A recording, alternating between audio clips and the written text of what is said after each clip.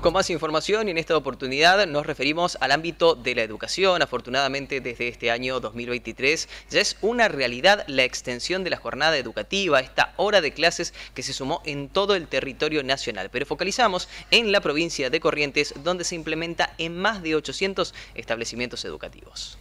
Esto empezó el año pasado a raíz de una resolución que se aprobó en el Consejo Federal.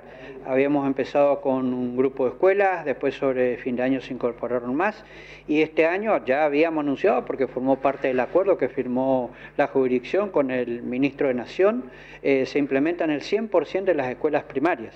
Eh, además de eh, que la misma hora extendida se lleva adelante también en el Departamento de Aplicación de las escuelas normales de nuestra provincia. Es decir, el 100% del nivel primario, en este momento en la provincia de Corrientes, tiene una hora más. ¿Cómo se está adaptando el alumnado y también el equipo docente? Eh, bien, bien. Eh, nosotros estamos muy conformes. Eh, el año pasado, como era algo nuevo, generó una serie de inquietudes, dudas con respecto a la aplicación, pero después que comenzó la implementación, nosotros recibimos pedido de las escuelas para eh, incorporarse. Aquellas que estaban esperando la tercera etapa, que se implementó a partir del inicio del ciclo lectivo 2023.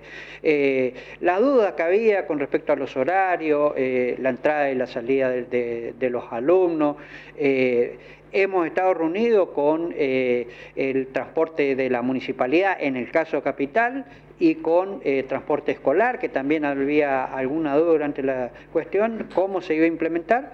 Eh, como resultado final, eh, estamos muy conformes, todo funciona bien.